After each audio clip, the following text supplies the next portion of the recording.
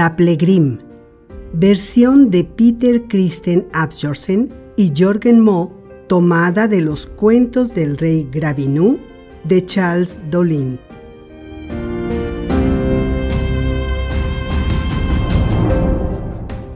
Érase una vez una pareja de gente rica que tenía doce hijos. Cuando el menor de ellos creció, ya no quiso permanecer en casa y se fue al mundo a buscar fortuna. Sus padres le dijeron que él estaba muy bien en casa y que podía quedarse con ellos, pero él no quiso y dijo que debía irse, así que tuvieron que darle permiso. Después de mucho caminar, llegó hasta el palacio de un rey en el que pidió posada. La hija del rey de ese país había sido secuestrada por un troll de las montañas y el rey no tenía más hijos por lo que él y su gente estaban muy tristes y afligidos. El rey había ofrecido a la princesa y la mitad de su reino a quien la rescatara, pero no había nadie que pudiera hacerlo, aunque varios lo habían intentado. Así que cuando el muchacho llevaba en el palacio un año aproximadamente, quiso volver a casa a visitar a sus padres, pero al llegar a casa se encontró con que sus padres estaban muertos y sus hermanos se habían repartido todo lo que sus padres poseían. No le habían dejado nada a él. Entonces, ¿no me toca nada de la herencia? preguntó el joven. ¿Quién iba a saber si aún vivías? Has estado deambulando por ahí mucho tiempo, le respondieron sus hermanos. Sin embargo, hay doce yeguas allá en la colina que aún no nos hemos repartido. Si las quieres como la parte que te corresponde, quédatelas. Así que el muchacho, muy contento con este trato, les dio las gracias y se dirigió de inmediato al lugar donde las yeguas estaban pastando. Cuando llegó ahí, vio que cada yegua tenía un potrillo, y al lado de una de ellas había un potrillo tordo, bastante grande, tan acicalado y limpio que parecía brillar. Vaya, pequeño potrillo, sí que eres un bello muchacho, dijo el joven. Sí, pero si pudieras matar a los otros potrillos para que yo pueda mamar de todas las yeguas por un año, verás cuán grande y hermoso puedo ser, dijo el potro. Entonces el joven mató a los doce potros y volvió a casa. Un año después, cuando volvió para ver cómo estaban sus yeguas y su potro, encontró que éste estaba muy gordo y su pelaje brillaba mucho. Estaba tan grande que al muchacho le costó trabajo montarlo. Cada una de las yeguas tenía otro potrillo. Veo que no perdí nada al dejarte mamar de todas mis yeguas, le dijo el muchacho al potrillo añojo pero ahora estás bastante grande y debes venir conmigo. No, dijo el potro. Debo quedarme un año más. Mata a los otros doce potrillos y así podré mamar de todas las yeguas este año también. Verás cuán grande y hermoso estaré para el verano.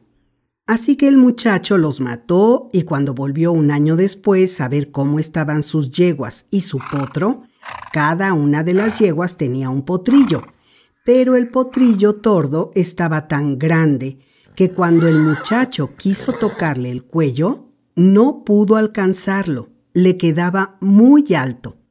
El pelaje del potro brillaba tanto que su lomo parecía un espejo. El año pasado estabas bastante grande y bello, potrillo mío, pero este año eres aún más hermoso, dijo el muchacho. En toda la corte del rey no es posible encontrar un caballo como tú, pero ahora vendrás conmigo. No, dijo una vez más el potrillo tordo, debo quedarme aquí un año más.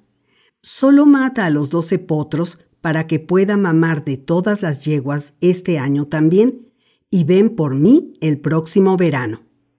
Y así lo hizo el muchacho, mató a los doce potros y volvió a casa. Pero al año siguiente, cuando volvió para ver cómo estaban sus yeguas y su potrillo tordo, se sintió más que sorprendido. Nunca imaginó que un caballo pudiera crecer tanto. El caballo tenía que doblar las cuatro patas para que el muchacho pudiera montarlo, y aún así resultaba muy difícil hacerlo. Estaba tan robusto que su pelaje brillaba como si fuera un espejo. Esta vez el tordo caballo no se negó a ir con el muchacho. Así que el joven lo montó y cuando llegó a casa, sus hermanos juntaron las manos y se persignaron, pues nunca habían visto ni oído hablar de un caballo así. Si me consiguen las mejores herraduras para mi caballo y la silla y la brida más hermosas que puedan hallarse, se pueden quedar con mis doce yeguas y sus doce potrillos, dijo el muchacho, pues también ese año cada yegua tenía un potro. Los hermanos estuvieron de acuerdo. Le dieron al muchacho tales herraduras para su caballo que las ramas y las piedras salían volando cuando el muchacho cabalgaba en las colinas, y también le dieron una silla y una brida doradas, cuyo brillo podía verse a lo lejos. Ahora iremos al palacio del rey, dijo Daplegrim, pues este era el nombre del caballo pero ten en cuenta que deberás pedirle al rey un buen establo y excelente forraje para mí.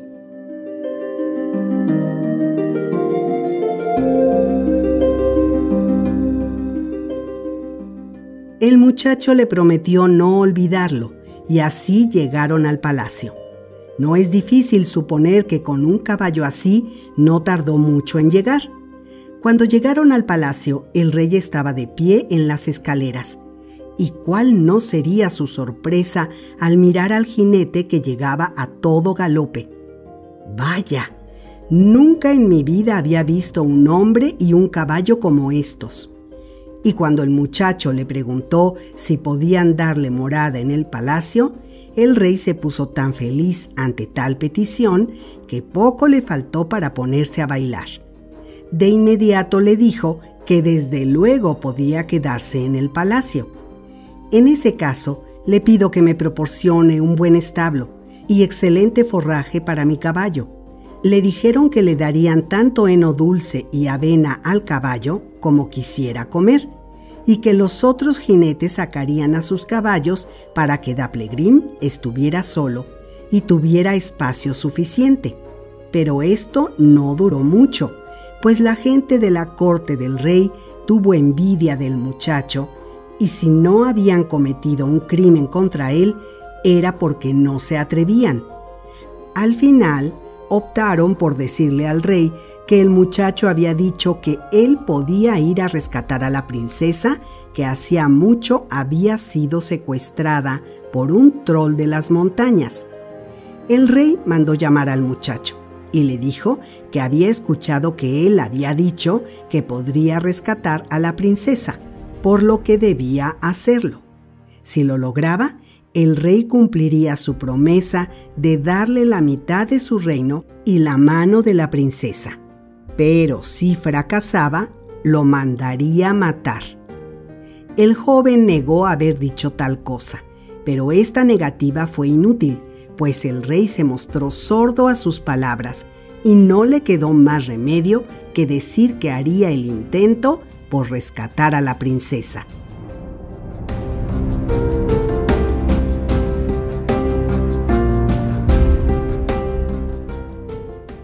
Se dirigió al establo muy triste y preocupado.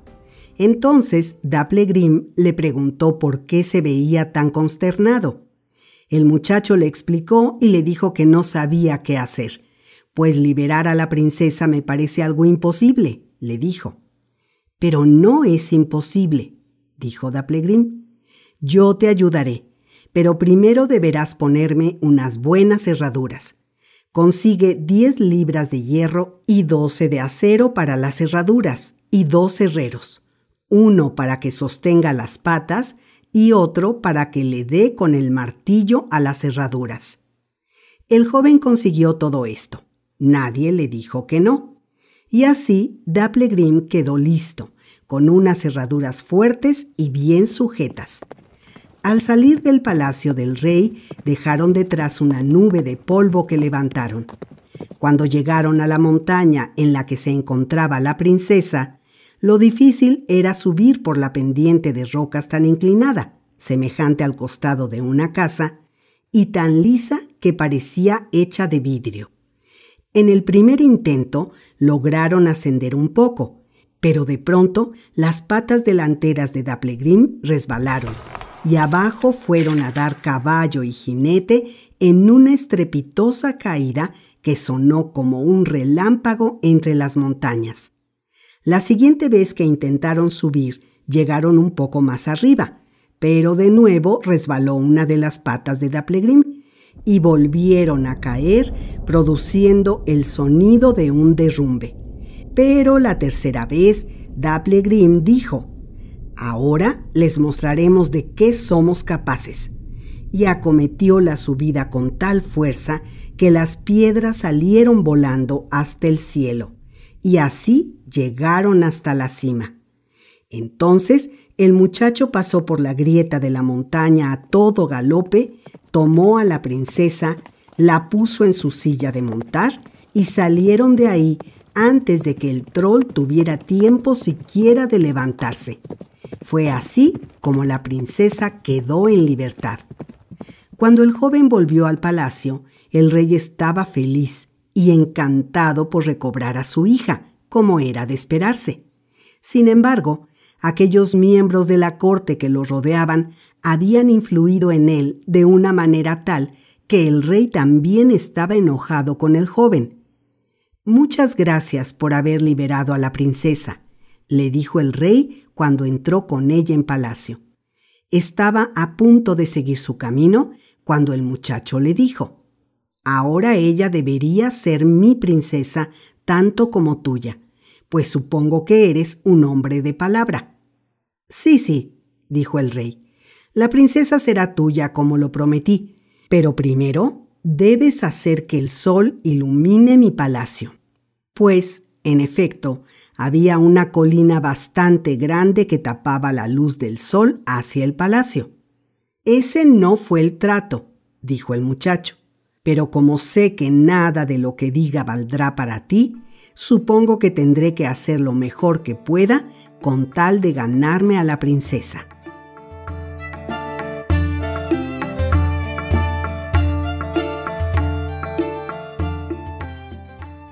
Así que regresó con Daplegrim y le dijo cuál era la voluntad del rey. Y Daplegrim le dijo que eso se arreglaría fácilmente, pero antes que nada debía tener nuevas cerraduras. Estas debían estar hechas con 10 libras de fierro y 12 de acero, y para hacerlas era necesario que hubiera dos herreros, uno para martillar el metal y otro para detenerlo y luego sería muy fácil hacer que el sol brillara en el palacio del rey. El muchacho mandó traer todo esto y obtuvo al instante lo que necesitaba, pues el rey pensó que no podía negarse a estos requerimientos, y así fue como Daplegrim tuvo nuevas cerraduras y unas muy buenas. El muchacho montó en él y una vez más emprendieron la marcha. Por cada salto que daba Daplegrim, la colina se hundía 15 pulgadas. Brincaron y brincaron hasta que ya no hubo más colina que estorbara al rey. Cuando el muchacho volvió al palacio del rey, le preguntó si no era ya tiempo de que la princesa fuera suya, pues ya nadie podía negar que el sol iluminaba el reino. Pero las otras personas en el castillo habían mal aconsejado al rey y éste le respondió que desde luego tendría a la princesa, pues nunca había sido otra su intención, pero que ella debía tener un caballo tan bueno como el suyo para la boda. El joven le dijo al rey que él nunca le había dicho que iba a hacer eso, y que le parecía que ya se había ganado a la princesa, pero el rey se mantuvo en lo dicho y añadió que si el muchacho era incapaz de conseguir ese caballo, entonces perdería la vida. El joven volvió al establo muy triste y apesadumbrado, como era de esperarse. Le dijo a Daplegrim que el rey le había condicionado conseguir un caballo tan bueno como él para la princesa, o que de lo contrario perdería la vida. Esta vez es algo muy difícil, dijo el muchacho, pues no se puede encontrar en todo el mundo un caballo como tú. Sí, sí hay uno, dijo Daplegrim, pero no será fácil conseguirlo, pues está bajo tierra. Sin embargo, hay que intentarlo. Vayamos con el rey y pidámosle unas nuevas herraduras. También necesitamos 10 libras de fierro y 12 de acero, y para hacerlas serán necesarios dos herreros, uno para martillar el metal y otro para detenerlo. Pero esta vez asegúrate de que los ganchos estén muy afilados. También debes pedir 12 barriles de centeno, y habremos de llevar 12 bueyes sacrificados, y en cada una de las 12 pieles de los bueyes tendrás que poner 1200 picos. Y por último, también necesitaremos un barril con 12 toneladas de brea. El muchacho fue con el rey y le pidió todas estas cosas, y una vez más el rey pensó que se vería muy mal si se negaba, así que le consiguió todo. El joven montó en Daplegrim y se alejó de la corte. Después de haber pasado mucho tiempo, mucho tiempo, de haber recorrido páramos y colinas, Daplegrim le preguntó, ¿Escuchas algo? Sí, escucho un terrible silbido en el aire que me está asustando mucho. Son las aves salvajes del bosque que vuelan por aquí. Han venido para detenernos, dijo Daplegrim. Haz un hoyo en los costales que trajimos y estarán tan ocupadas comiendo que se olvidarán de nosotros. El muchacho hizo lo que Daplegrim le pidió y después de perforar los costales, la cebada y el centeno, comenzaron a manar de ellos y todas las aves salvajes que volaban en el bosque y que eran tantas que oscurecían el cielo, se abalanzaron hacia los granos, Comenzaron a rasgar la tela de los costales y a pelear entre sí por el alimento. Se olvidaron del muchacho y de Daplegrim y no les hicieron daño. Entonces el joven continuó cabalgando por mucho, mucho tiempo. Pasó por colinas y valles, ciénagas y lugares rocosos, hasta que Daplegrim percibió ciertos sonidos de nuevo y le preguntó al muchacho si él también escuchaba algo. Sí, ahora escucho ruidos estremecedores a cada lado del bosque. Tengo miedo. Es el ruido de las bestias salvajes del bosque, dijo Daplegrim. Están aquí para detenernos, pero arrójales los doce cadáveres de los bueyes. Estarán tan ocupados con ellos que se olvidarán de nosotros. Así que el muchacho hizo lo que Daplegrim le decía y entonces todas las bestias del bosque, osos, lobos, leones y animales de todo tipo, acudieron de inmediato. Pero cuando vieron los cadáveres de los bueyes, comenzaron a pelear entre sí hasta que corrió la sangre y se olvidaron por completo de Daplegrim y del muchacho. El muchacho entonces siguió su camino y vieron muchos lugares nuevos, pues viajar montado en Daplegrim era todo menos ir lento, como podrán imaginarse. Daplegrim relinchaba. ¿Escuchas algo? preguntó de nuevo. Sí, escuché algo como un potro relinchando a lo lejos. Es un caballo maduro si eres capaz de escucharlo cuando está tan lejos de nosotros. Y continuaron su viaje por largo rato encontrándose parajes nuevos una vez más, hasta que Daplegrim volvió a preguntarle al muchacho si escuchaba algo. Sí, esta vez lo escuché claramente. El relincho era el de un caballo maduro. Así es. Volverás a escucharlo muy pronto y te darás cuenta de la voz que tiene. Y así continuaron su viaje a través de varios países hasta que Daplegrim iba a preguntarle al muchacho una vez más si escuchaba algo, cuando de pronto se oyó tal relincho del otro lado del monte que el muchacho pensó que las colinas y las rocas estallarían en pedazos. Y aquí está, exclamó Daplegrim. Date prisa y arroja sobre mí las pieles de buey que tienen los picos. Derrama las doce toneladas de brea sobre el piso y súbete a ese enorme abeto.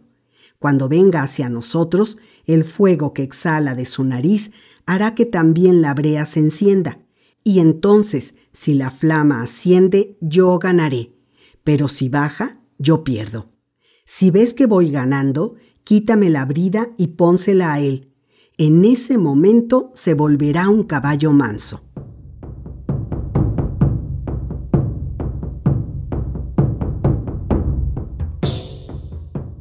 El muchacho arrojó las pieles con los picos sobre Daplegrim, derramó la brea por el piso, se subió al abeto para ponerse a salvo y apareció un caballo echando fuego por las narices. La brea se encendió de inmediato y ambos caballos comenzaron a pelear con tal fuerza que las piedras salían volando hasta el cielo. Se mordían, se daban coces y el muchacho los veía entre las llamas hasta que éstas comenzaron a elevarse, pues cuando el otro caballo mordía o pateaba a Daplegrim, se topaba con los picos que salían de la piel que le cubría. Al cabo de un rato el otro caballo tuvo que rendirse. Cuando el muchacho vio lo que pasaba, no tardó en descender del árbol y ponerle las bridas al caballo, el cual se volvió tan dócil que bien se lo hubieran podido llevar tirándolo de una cuerda delgada. El caballo también tenía manchas y se parecía tanto a Daplegrim que no podía distinguirse uno de otro. El muchacho tomó el caballo que había capturado y volvió al palacio del rey con Daplegrim sin brida.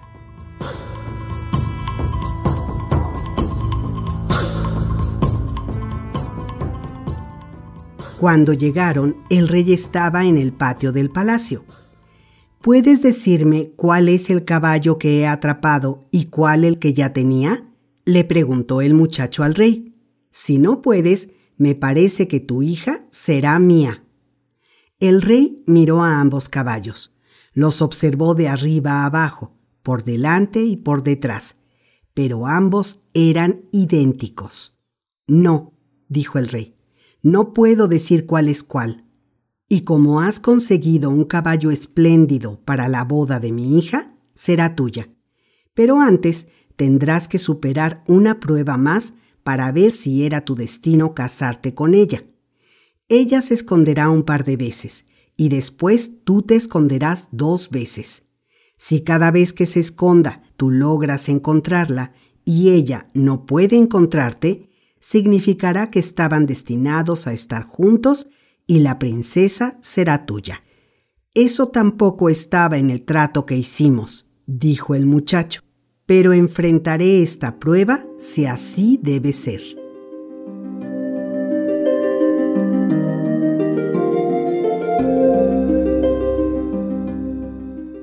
Entonces la hija del rey procedió a esconderse primero. La princesa se convirtió en un pato y se puso a nadar en un lago que estaba justo a las afueras del palacio.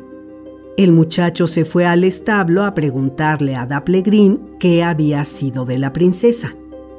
Lo único que tienes que hacer es tomar tu escopeta, ir al lago y apuntarle al pato que está nadando. Y sin demora la princesa se mostrará a sí misma, le dijo Daplegrim. El muchacho tomó su escopeta y se dirigió al lago. Voy a dispararle a ese pato, dijo y le apuntó. No, no dispares, soy yo, dijo la princesa, y así fue como la encontró la primera vez. La segunda vez, la princesa se convirtió en una hogaza de pan y se puso encima de la mesa entre otras cuatro hogazas de pan. Era tan parecida a las otras que nadie podía ver alguna diferencia entre ellas. El muchacho se dirigió al establo una vez más y le dijo a Daplegrim que la princesa había vuelto a esconderse y que no tenía la más remota idea de dónde. Basta con que tomes un cuchillo de cocina bastante grande, lo afiles y finjas que vas a cortar la tercera de las cuatro hogazas de pan que hay sobre la mesa de la cocina. Cuéntalas de derecha a izquierda y pronto la encontrarás, dijo Daplegrim. Así que el muchacho se dirigió a la cocina y comenzó a afilar el cuchillo más grande que encontró. Luego tomó la tercera hogaza de pan y le puso encima un cuchillo como si fuera a cortarla en dos. Voy a comer un poco de este pan, dijo. No, querido amigo, no cortes el pan, soy yo, dijo la princesa, y así fue como la encontró la segunda vez.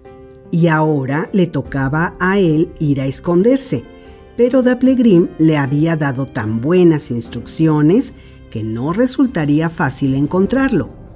Primero se convirtió en una mosca y se escondió en la nariz de Daplegrim. La princesa lo buscó por todas partes y quería entrar al establo, pero Daplegrim comenzó a soltar mordidas y cosas de tal modo que a ella le dio miedo entrar y no pudo encontrar al muchacho.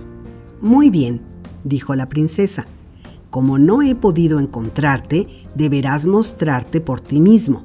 Y el muchacho apareció de pronto frente a ella en el establo. Daplegrim le dijo de nuevo lo que debía hacer y se convirtió en un terrón y se colocó entre la herradura y la pezuña de la pata izquierda de Daplegrim. La hija del rey volvió a buscarlo por todos lados hasta que por fin se acercó al establo y quiso aproximarse al compartimento de Daplegrim. Esta vez la dejó entrar y ella buscó por todas partes, pero no pudo mirar bajo la herradura del caballo, pues éste se mantuvo firme todo el tiempo y así ella no pudo encontrar al muchacho. Muy bien, pues tendrás que revelar dónde estás, ya que no he podido encontrarte, dijo la princesa, y al instante el muchacho se apareció a su lado. Ahora serás mi esposa, le dijo a la princesa. No podrás negar que estaba destinada a ser mi esposa, le dijo el muchacho al rey. Así es, dijo el rey. Es cosa del destino. Lo que debe ser, será. Y rápidamente comenzaron los preparativos para la boda con gran esplendor. El muchacho acudió a la iglesia montado en Daplegrim, mientras la hija del rey iba en el otro caballo, de manera que todos vieran que no tardarían mucho en llegar a su destino.